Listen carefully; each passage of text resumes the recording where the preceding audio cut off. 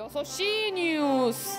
오늘도 철도 교차점인 대전역엔 미국 구호 물자인 밀가루가 대거 들어왔습니다. 앞집 아짐의 옆집 순이네 길 건너 아저씨도 칼국수를 만들기 위함입니다. 와 얼마나 맛있는지 북새통의 밀가루 전쟁이라고 합니다. 한번 먹어보고 싶군요. 솔직한 앵커네요. 칼국수의 도시 대전을 찾았습니다. 유 오늘은 기분이 좋아 여러분 칼국수의 성지 대전에 왔습니다.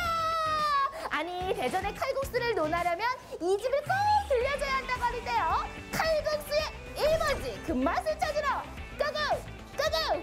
아 여기 어디라고 있는데? 저긴가? 한 번 맛보면 계속 찾게 되는 대전 칼국수의 대표 주자. 멸치와 다시마 등으로 5시간 이상 푹 우려내어 깊고 진한 맛을 자아내는 국물 칼국수입니다. 독보적인 비주얼과 맛이 일품인 비빔 칼국수도 빠질 수 없는 존재죠. 야, 이게 바로 대전 칼국수의 클러스! 야, 어머니, 박수 한번 주세요! 저기 면 불어요. 맛있게 드세요, 얼른. 아유 알겠습니다 어머니. 자 이제 그러면은 맛있게 마스크를 벗고. 야 일단 국물부터 맛있는 음식엔 항상 진심이라서요. 끊을 수가 없더라고요. 와 진짜 언니. 국물이 차원이 달라요. 이 국물의 맛은요?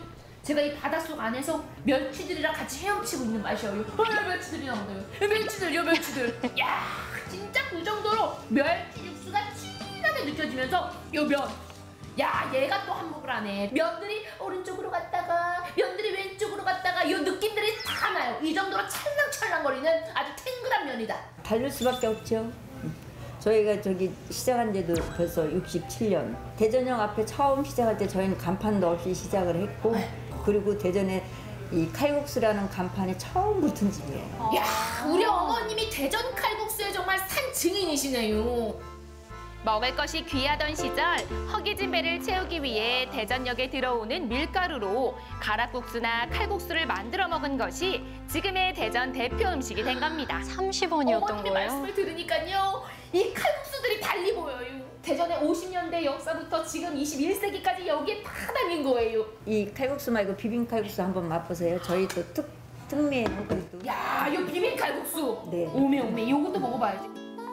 비빔국수는 많이 먹어봤지만요. 비빔 칼국수는 처음이었는데요. 수육과 함께 맛보면 어우, 그 맛이 배가 됩니다. 우와! 혜정 씨 칼국수에 저기 성기에 오셨으니까 다른 집 칼국수도 또 맛도 보고 가세요. 네, 네. 냄새만 안 되잖아. 다음으로 만나볼 칼국수는요. 과연 어떤 맛일까요? 자, 이것이 바로 칼국수 하면 무릎을 팍 치게 만든다는 칼국수의 성지 맞나요? 네, 어떻게 오셨어요? 잠깐 앉아 계시면 칼국수 맛있게 해드리겠습니다. 어머, 기대하고 있겠습니다. 어디에 앉을까? 대전을 대표하는 빨간 맛, 바로 얼큰이 칼국수입니다. 야, 이런 보기만 처음 해도 보네. 입안이 얼얼해지죠. 사장님, 여기를 와야지만 이 맛을 제대로 느낄 수 있다. 이 매운맛을 제대로 느낄 수 있다. 요런 소문이 있더라고요. 네, 먹어보면 또 다른 반전이 있어요. 그만큼 맛있다는 얘기죠. 소문은 확인해봐야죠. 그렇죠, 그렇죠. 얼큰이 칼국수는요, 요 쑥갓과 꼭 맛봐야 되는데요. 그 식감은 처음부터 저렇게 빨갛게 물론이고요. 매운맛과 알싸함이 더해져 풍미가 더욱 살아납니다. 아, 야, 또 쑥갓 향이 이거- 더해지니까.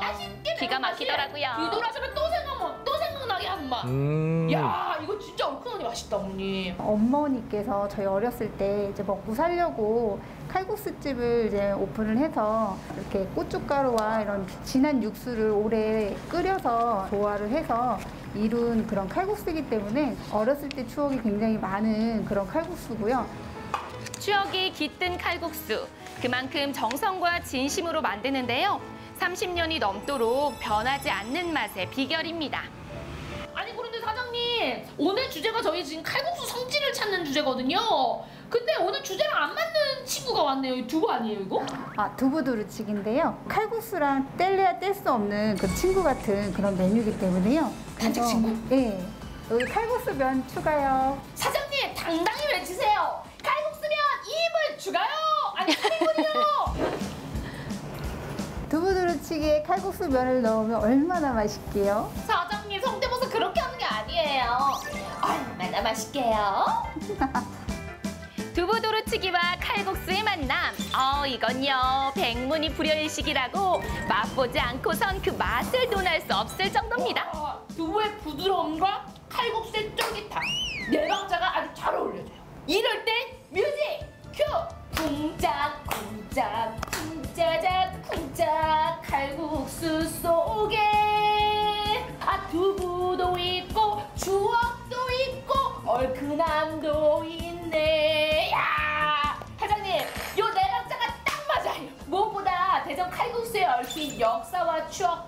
맛을 온몸으로 오롯이 느낀 정말 최고의 하루였습니다 역시 칼국수 하면 어디다? 대전이죠? 대전으로 오세요. 오세요 지금까지 대전이었습니다